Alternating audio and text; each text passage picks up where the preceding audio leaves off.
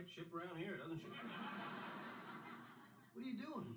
Monica has a secret closet and she won't let me see what's in it. Why not? I don't know. What could she possibly be hiding in here that I can't see? I don't know.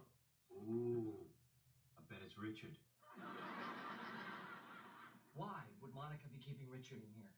Well, Off the top of my head, uh, maybe she's having her cake and eating it too. You being the cake, Richard being the soup.